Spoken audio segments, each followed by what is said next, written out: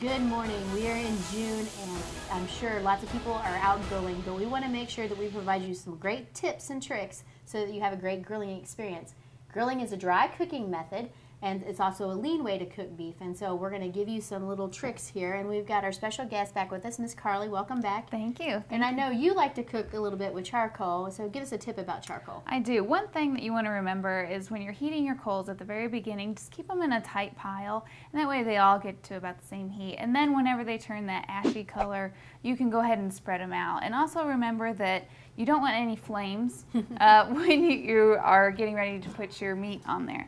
You also want to remember that the proper heat temperature would be about medium, which is if you can hold your hand just over the grate for about four seconds, that equals about medium heat. Yeah, and those are some great tips. And so when you're getting ready to flip that steak, the natural indicator is that the juices will rise to the top. But the big thing is don't use a fork uh, to flip because you're going to pierce it and lose all those wonderful juices. Rather, use a set of tongs or a spatula to flip your steak or your burger. But with this spatula, just remember, don't play with those patties.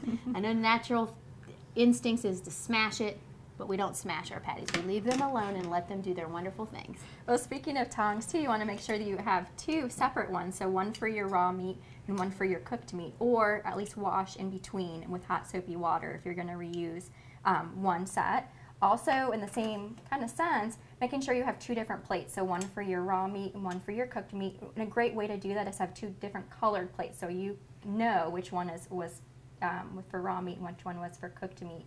And then also, as we always say, look at the meat thermometer and check the, the temperature with the meat thermometer. And that color really is an indicator. But when you're using a meat thermometer, you want to make sure that your burgers are about 160 degrees and your steaks are about 145 degrees at least. So make sure that you put it in horizontally, and that way you can make sure that your, your meat is cooked properly.